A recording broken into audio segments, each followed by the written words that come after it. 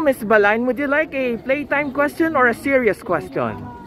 I would go to the playtime question. Okay, here's your question. If Balayan were a flavor of ice cream, what would it be and why? And if you were to create a flavor of ice cream named after Balayan, what ingredients would you include? I would name the ice cream rainbow ice cream because our town is very growing. It's growing it's evolving it's it's very open to the world and we are one people in Balayan. And if I would name this uh the flavor or any uh, if I would if I'm gonna make an add an ingredient for it I will use our bagoong because it is our specialty